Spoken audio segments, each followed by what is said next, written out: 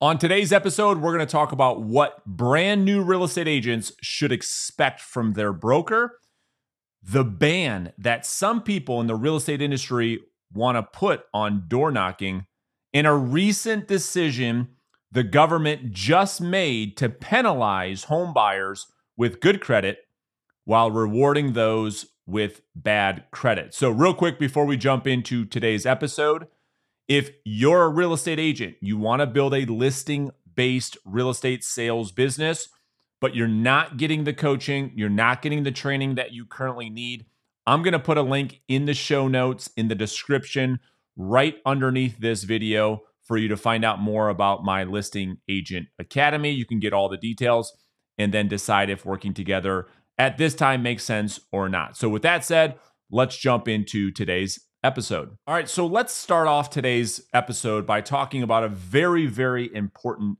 topic and a question that I often get from brand new real estate agents that find themselves frustrated after they get in the business because they just feel as though they're not getting the support, the training, the coaching that they thought they would get from their broker. And I want to talk about this in great details. And I and I'm give you really two ways to look at this. And so I got a comment on one of the recent videos on YouTube, and it was a great question. And here's what the agent said. He said, Hey man, I have a question and really need help. I'm a new real estate agent and I don't really get much broker support or training.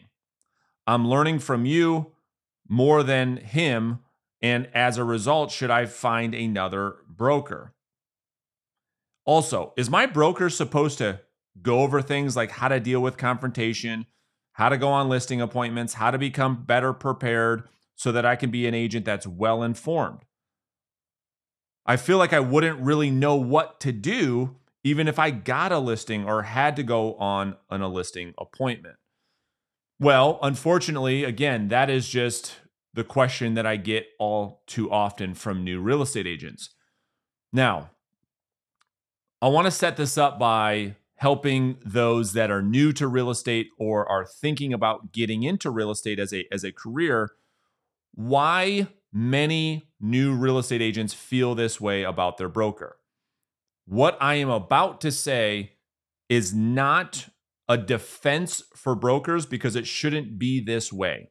However, there was a recent article that Jeff Glover just put out on Inman. Shout out to you, Jeff. And he talked about why the agent count model doesn't work. And let me explain.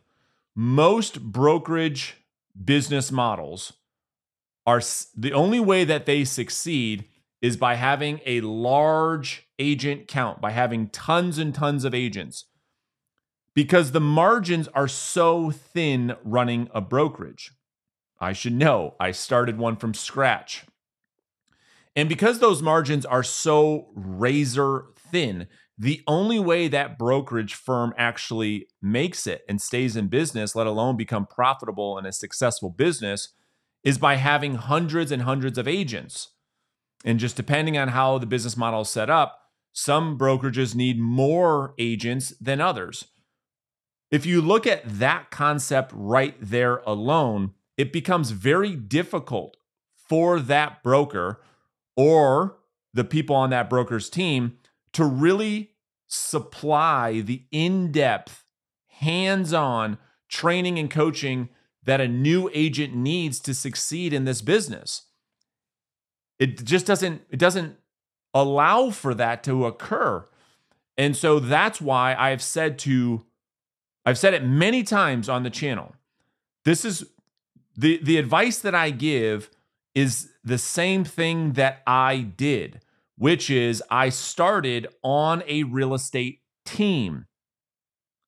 Because Unlike the real estate brokerage that has to have a ton of agents to succeed, the real estate team typically is a lot more close knit because they have a lot less people on them than that of a brokerage.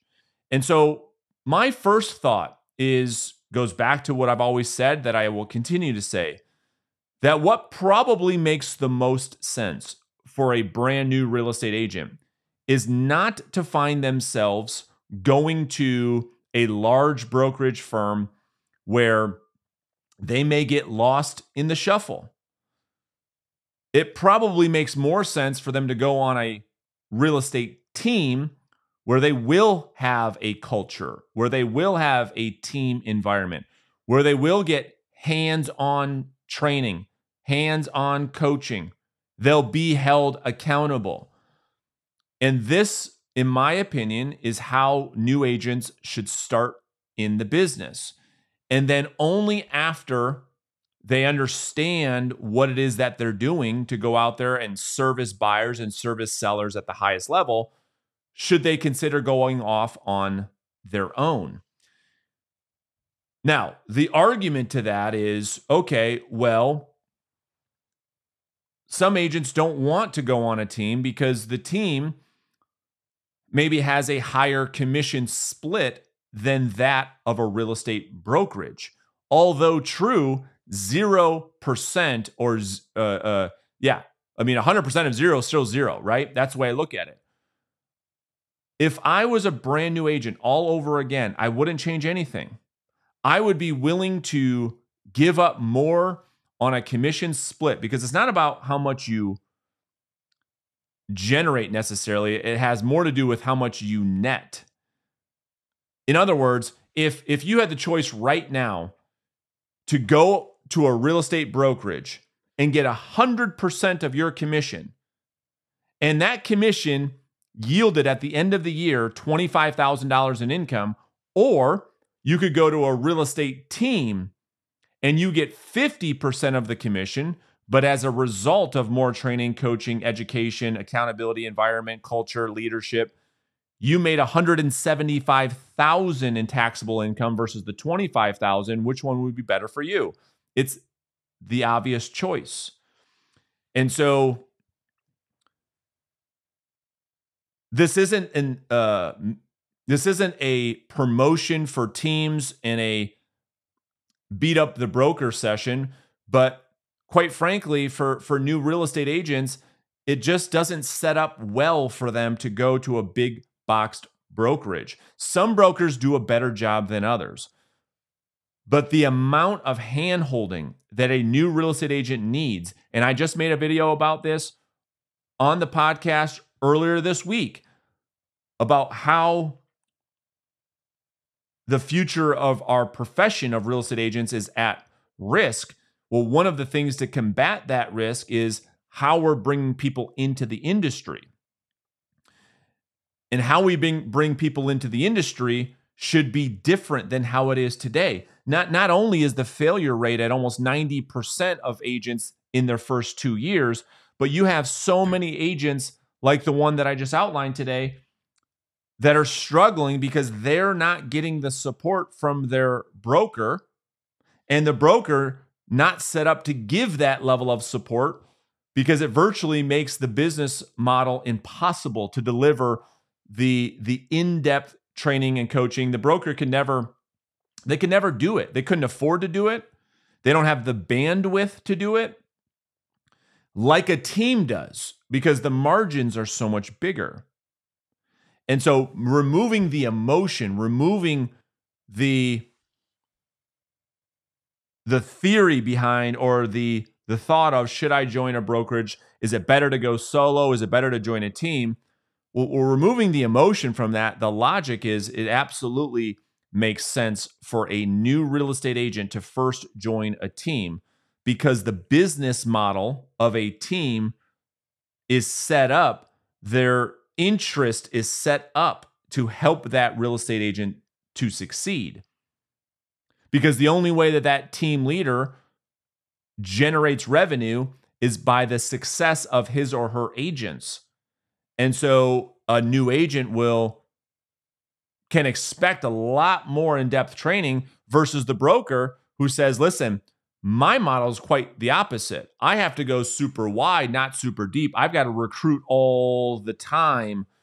I have to recruit and hope agents make it.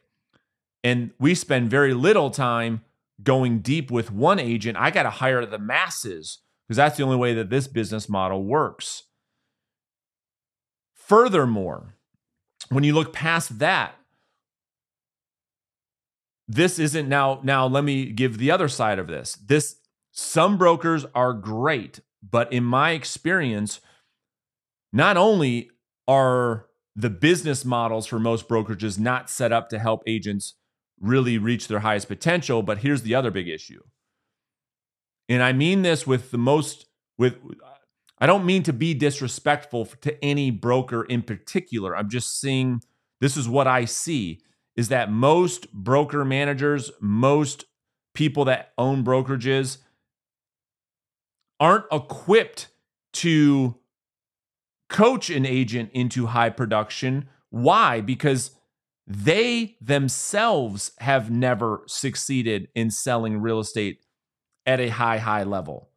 So not only do they have a business model that doesn't support going deep with an agent to help an agent succeed, but even if it did, in my experience, most, not all, okay, so I can just hear the comments now. Brandon, this is total bullshit. My broker sells 150 houses a year. I understand. I understand. Some brokers are different. I own a brokerage and I have a successful real estate sales business. Later on the show, I'm going to bring somebody on that also is a broker owner, but he's selling 100 houses a year himself. That isn't the norm. It's the 80 20 principle, right? 80% of these people that are running these brokerages have not, in fact, succeeded themselves in personal real estate sales. And so that's the other thing that doesn't set up well for new real estate agents going to join these big brokerage firms. Unlike most team leaders, so if you look at the 80 20 principle with teams, the vast majority of team leaders, on the contrary, have actually succeeded in selling real estate in high volume in personal production. So now when you look at those two arguments, you start it starts to become very very clear that the debate isn't isn't one that is even questionable that for a brand new real estate agent and I would love to have someone debate this with me but for a brand new real estate agent, I just don't see a world where it doesn't make sense for him or her to go join a team for their first year or two or three in the business, learning the business from someone who has walked the walk, succeeded themselves, first and foremost, and has a business model that supports that new real estate agent succeeding. All right, so joining me now, we've got one of the country's, I would say, top door knocking real estate agents, Dwayne Richens. Dwayne, appreciate you jumping on with us this morning. Hey, thanks for having me back, Brandon. Yeah, absolutely. So, for context, before we jump into this recent article that just got released, which I think is um, pretty controversial, and before we get into that, you've been door knocking pretty much your entire career, you've had a lot of success door knocking in real estate sales as well as other industry. But for context, for people listening to this, Dwayne, how much business have you done door knocking in real estate sales? Oh my gosh, millions. I mean, for before I started into real estate, uh, the company I was working for, Vivint Home Security, I made the company over fifty million dollars in sales alone. Wow. So yeah, so I've how many? A, Oh, I'm sorry. Go ahead. I said I've got a ton of experience on that. I've I've you know I've pounded probably fifty to hundred thousand doors. Well, that's what I was going to ask you. So you think that you've knocked on between fifty and hundred thousand individual doors? Is that right? That's right. Yep. In, yeah. In so, all. Of- yeah. Well, that's why I thought that there'd probably be nobody better to have this discussion because I'm curious to kind of get your thoughts. And here's here's what the the article had to say. This was an article that was released earlier this week, and I wanted to get your feedback and kind of how you're thinking about this. But the article reads um, reads this that that there was essentially it's time to retire door knocking once and for all. And the article reads, Dwayne, a teenager was shot for being at the wrong address. Telling agents to door knock for new business is dated advice and it could lead to be deadly. It's time to stop door knocking.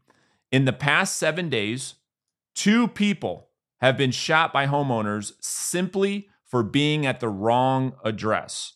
One was a 16 year old teenager who went to pick up his brothers, knocked on the wrong door, and was shot twice by the homeowner.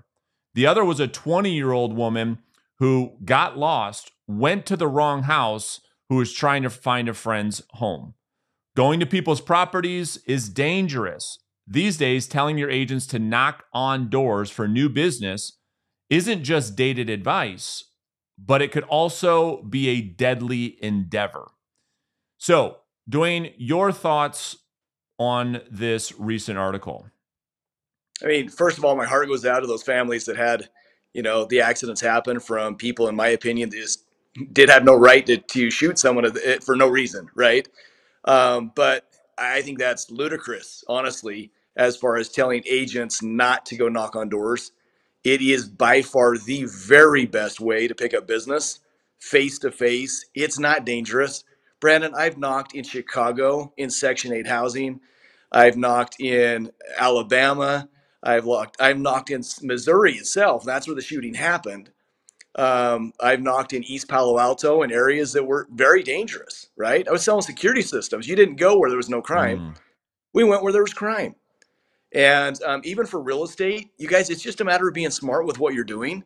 Um, it, the time that you're knocking, I, I don't think there's any risk whatsoever in knocking on doors to get business.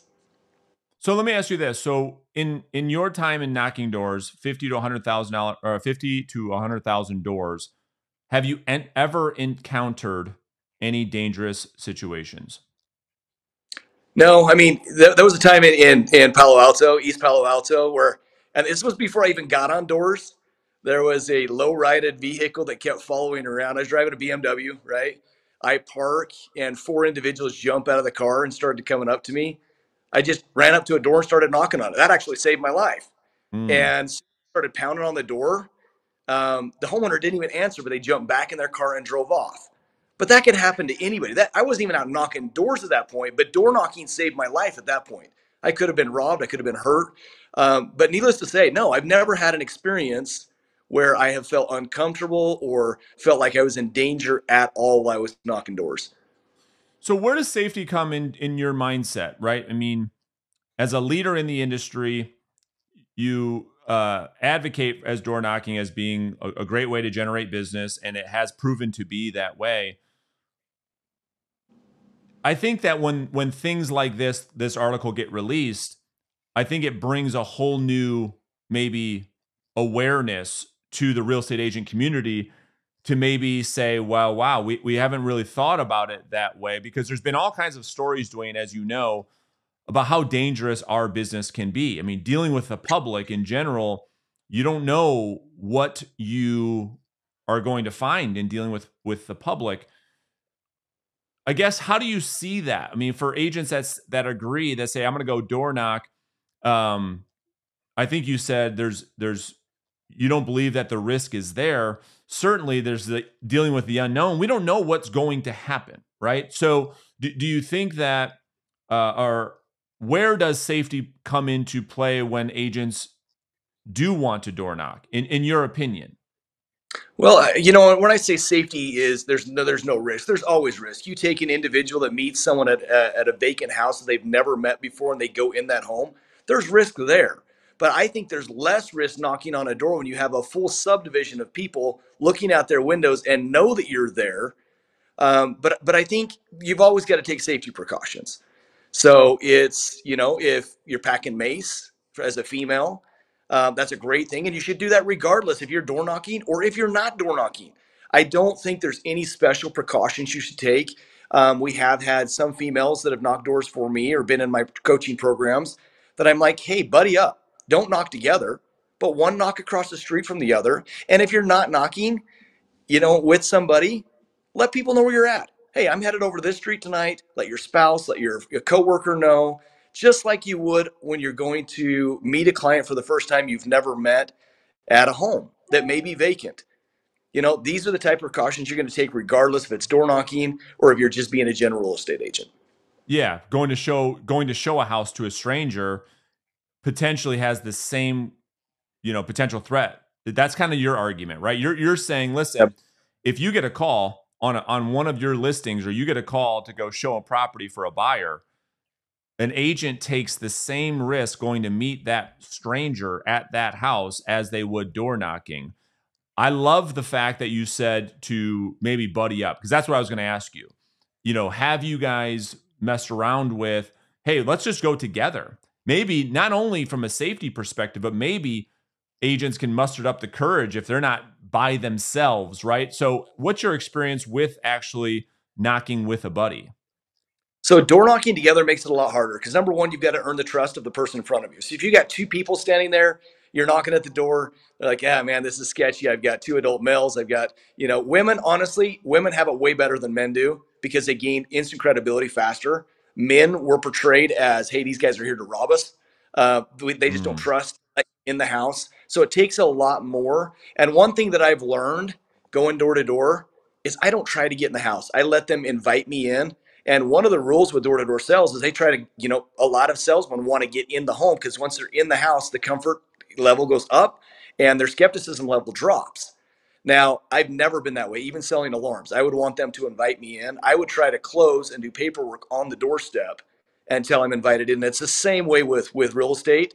I don't go to set an appointment. I go to set a close and I'm doing it all on the doorstep. So I don't try to get into the homes. But I feel like to answer your question, having two people there, it makes it a lot more difficult.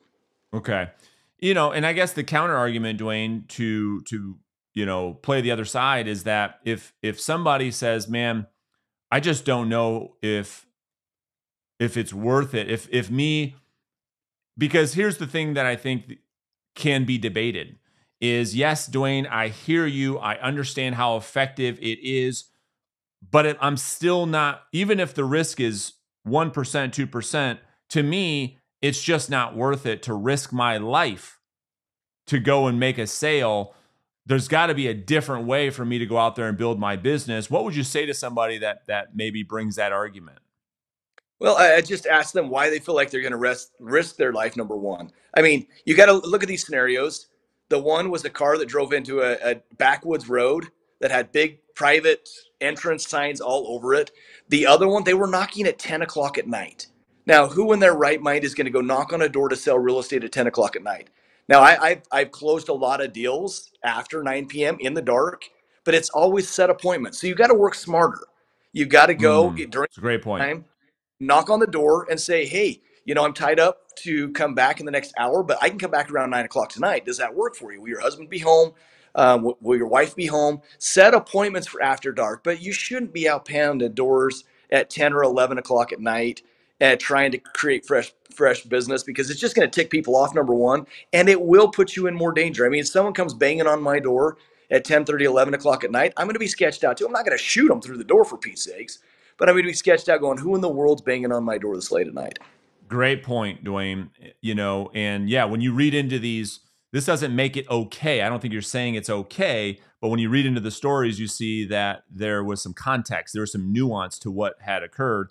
What you're saying is that agents that you know want to door knock, do it in the morning, do it in the afternoon, do it when it's bright outside. Um, maybe you know the agent. Well, let me ask you rather. Does an agent need to consider their appearance on how they dress to even increase even more safety you know that you stand back from the door? Are, are there any best practices like that dwayne that you recommend when you coach agents in door knocking? Great question. Brad, and i go over all this in my coaching program? Because there is so much that is involved in that. Your appearance matters more than, so than you'd ever guess. How you dress what you look like your stance at the door i'm never going to have someone stand broad shouldered at the door i want you at an angle I want you less intimidating. I don't want you standing right next to the door. I want you four or five feet back or one step off the step mm. so that open the door. It's like, like, hey, this guy's coming into my house. It's, hey, I'm back. And then how your mannerisms are. I mean, you really, I don't carry a clipboard. I don't want papers. I don't want notepads. I don't want anything out. I want my hands completely open to where they can see my hands and they know that I'm not there in fact, they don't think I'm a salesman when they open the door. And I think that is key is they want to know, hey, what are you doing? Yeah. Well, Dwayne, this is great. I appreciate you jumping on the show today. I know it's a highly debatable topic. It's it's a it's it's uh, it's unfortunate that things like that happen, but when they when we bring those things into our industry, I think that we have to there are things to consider, uh, and it's definitely worth us talking about to raise the awareness so that you know people are staying safe while building successful businesses. So, Dwayne, I appreciate you very much. Hey, thanks for having me on. All right, so joining us again on the show, he, he is becoming our uh, favorite favorite guest, Mr. Steve Frost from National Mortgage Funding. Thanks for jumping back on to talk about a highly controversial topic, and that is the fact that the government, as of this week, have decided, or it appears as though this is why we have you on the show, to penalize those that have been responsible, paid their bills on time, have a great credit score, and reward those who haven't that are looking to buy a house this year. So, welcome back to the show. Thanks, man. Thanks for having me. Yeah. What a so wonderful first, topic. Yeah, it is a. How are we very, getting ripped off this week? Yeah, it, it's interesting. And the mainstream media is having a field day with this. But before we jump into the conversation, I want to share just a, a minute or two of a video from Meet Kevin, who I think does a really nice job framing this thing up for the audience, Steve. So let me share my screen and I want to show this first. Can you see this okay? Oh, yeah. Well, good old Joe Biden and the Biden administration are now bringing affirmative action to real estate. Maybe not directly, but to some extent, yeah. There is now a new announcement out from the Biden administration that, listen to this, they are going to hike payments for good credit home buyers to subsidize higher risk low income minority borrowers. That's right. So if you've done right with your finances, you have a higher credit score and a higher down payment, you're now going to have to pay a higher monthly payment to subsidize people who just didn't operate their finances as well. On one side, people are arguing, hey, well, in fairness, Maybe you had the better opportunity to go to a better school because you were in a minority. On the other side, people are like, F that, I worked my ass off to get where I am, and I shouldn't have to subsidize somebody else. That's the government's job, not my job. Government shouldn't be making it more expensive for me to operate because somebody else didn't do as well.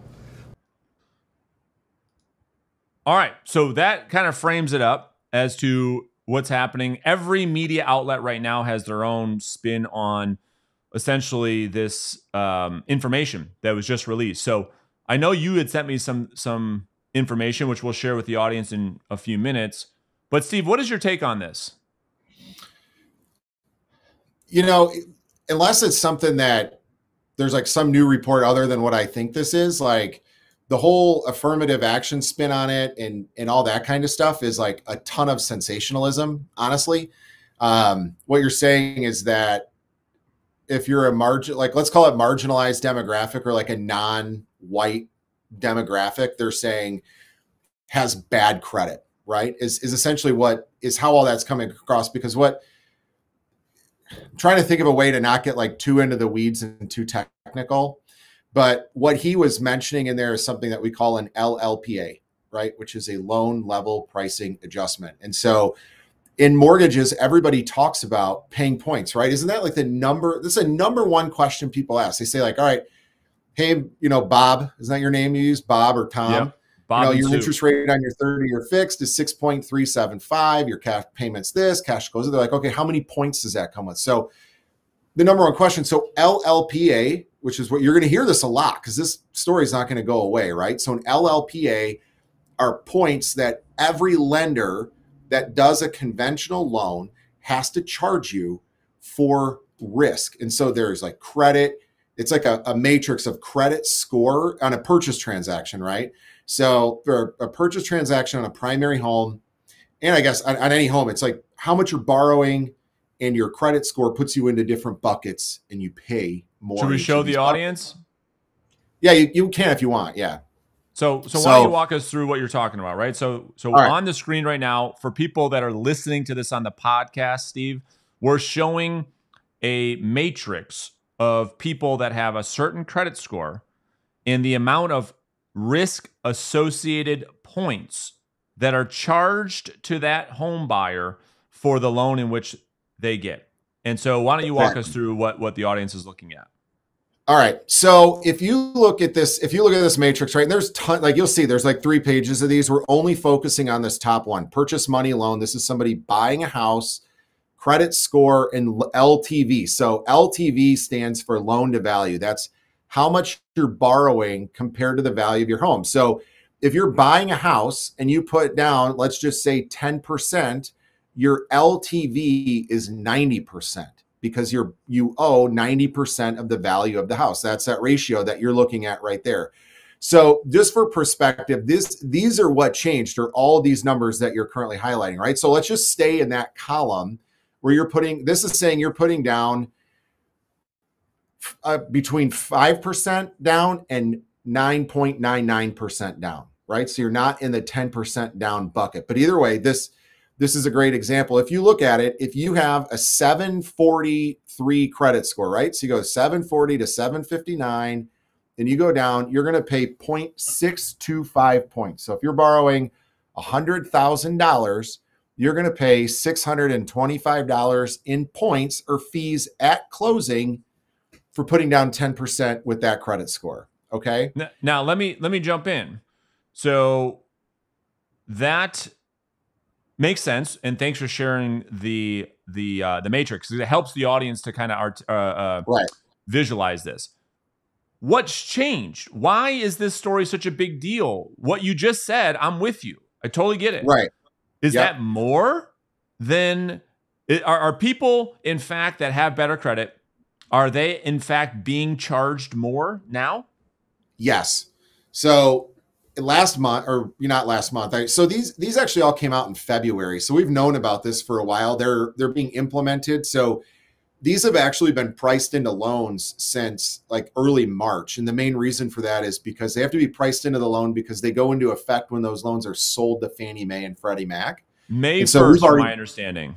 Yeah, May 1st. So anything that's bought by Fannie Mae or Freddie Mac after May 1st is subject to these. So if you lock a rate April 15th, your loan is already priced into that. As a matter of fact, if you locked a loan April 1st and your loan doesn't close, until May 2nd, you're subject to these fees because Fannie Mae is buying that loan after May 1st.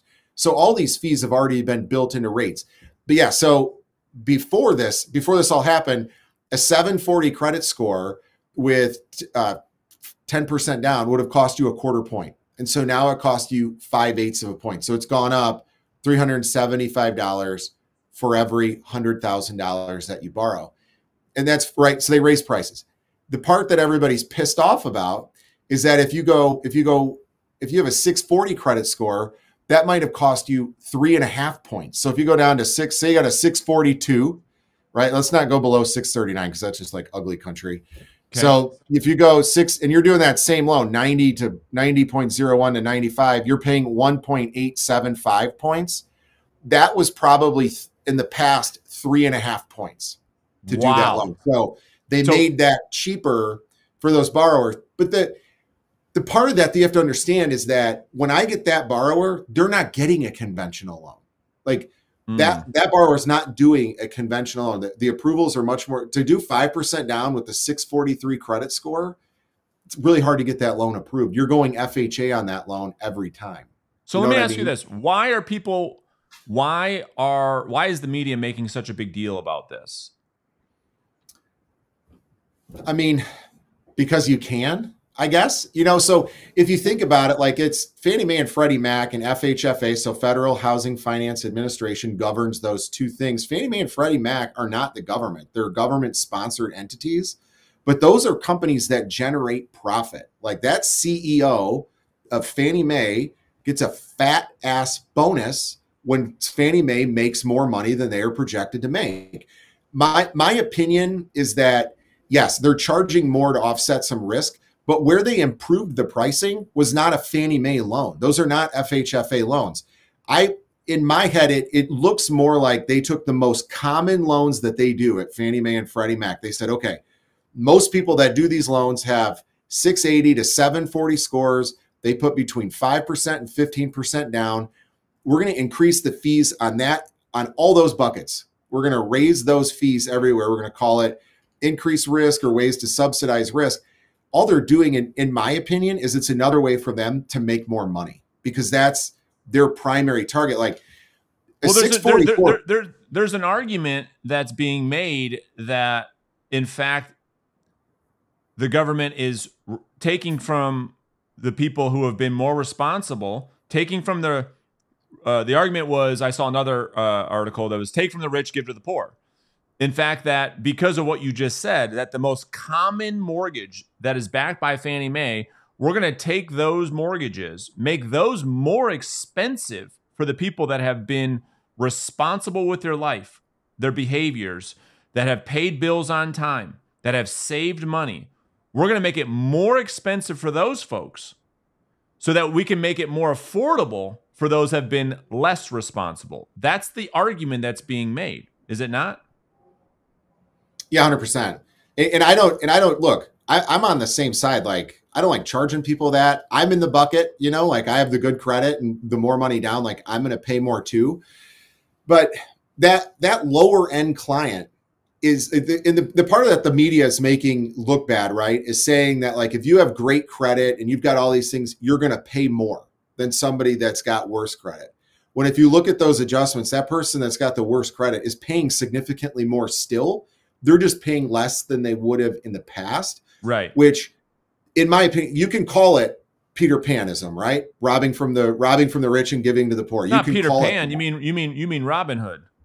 Is that who it is? I don't know. I suck. I'm like I'm over here literally right now thinking about peanut butter. That was like that's as far as I go with Peter Pan. That's Robin Hood. Steal from the rich, give to the poor. Yeah, Robin Hood. You got it. So you could, but I, for me, it's more of they're trying to dip into that less, or maybe that like demarginalized pool of of borrowers to get away from the FHA. If you notice, FHA came out this year and lowered their terms. They made FHA loans a lot more appealing than they did conventional loans. So I think this almost looks like a way to try to capture more of that lower end borrower. Um, from Fannie or from that FHA and bring them into Fannie Mae and Freddie Mac. Well, There's, what it, what it what it also looks like is potentially the the counter argument to the ones that feel as though people are getting penalized because they've been responsible. The counter argument to those folks is you're making home affordability or home ownership more of a possibility to more people. The same way that the 1% down mortgage that we talked about on an episode earlier this week is doing. That's the right. counter argument. It says, why are you guys so upset? All this is doing is, to your point, making it more accessible for more people to buy homes. What's so wrong with that? That's essentially what you're saying. Right. And here's here's another piece of this too is that again and this goes back to being uh, a creative loan officer but if those all those LLPAs that you see there, if you make less than 120% of the area median income. So yesterday we were talking about 50% or less, you get 1% down. If you make less than 120% of the area median income, you can get you get to waive all those LLPAs if you're mm. a hmm. first-time home buyer. If you make less than 100% of the area, or if you make less than the 80% of the area median income, you don't pay any of those LLPAs, great credit or bad credit, doesn't matter. Interesting. If you are a first time home buyer and you make less than 100% of the area median income, you don't pay any of those LLPAs. There's a ton of incentives out there. And look, a 70 a $72,000 income that in my market, right? That's 80%. $6,250 or that's 72,000 a year, 6250 a month. I can get you a $3,000 mortgage payment not saying we max everybody out, but you just use one borrower's income. And there's ways around a lot of those fees, which is getting away from the topic here, which is are we are we playing Robin Hood or not? And yeah, probably. And, and you know, it's it's not you always say like it's not fair, right? But I, I look at it the same way, like the price of a Cadillac Escalade is up like sixteen thousand dollars, right? Like, and you can't negotiate.